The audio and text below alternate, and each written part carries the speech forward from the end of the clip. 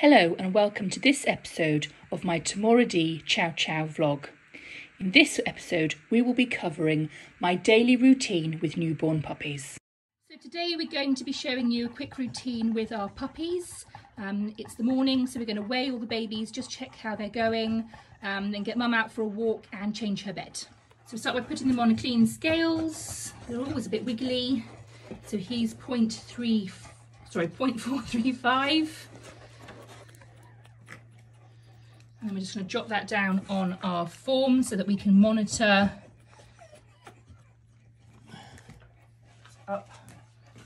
Yeah, he's gone up. So we do this every day. This is particularly why the puppies wear different coloured collars. We've got six puppies in this litter, all the same colour. So this just makes sure that no one slips through the cracks, that we are 100% sure of who is who. Next we're going to weigh is the blue boy and he is 460.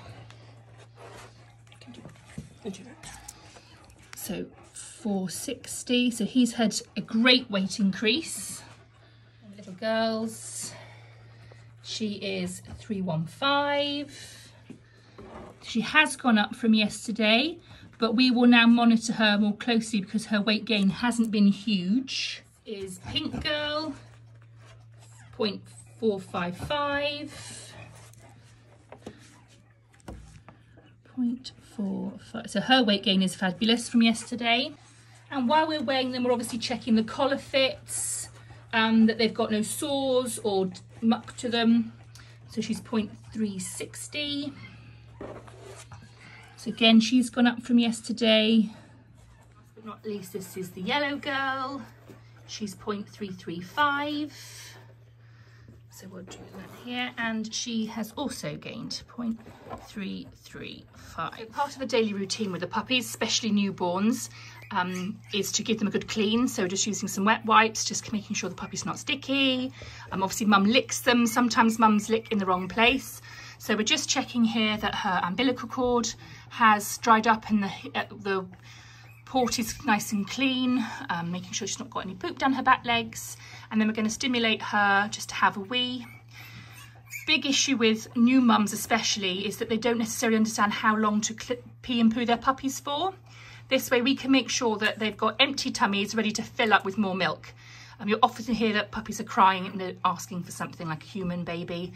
Um, they can't wee and poo by themselves. At this stage, they need to be stimulated and mum two or three licks doesn't always do the job.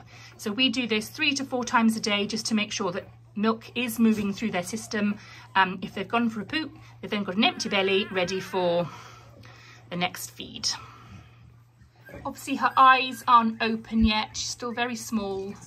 This puppy is four days old. She was born Saturday morning. on Saturday morning, today being Tuesday morning. So no eyes or anything yet, but lovely pink colour. And as she's a chow, this will turn darker with age. People don't always realise that their tongues are born pink. Um, they're born with pink tongues and they turn purple by the time they're a couple of weeks old. Thank you for watching this episode of my Tomorady Chow Chow vlog. If you have any questions, please put them in the comments section below or feel free to email me. All my details for all my social media accounts are listed below. Thank you.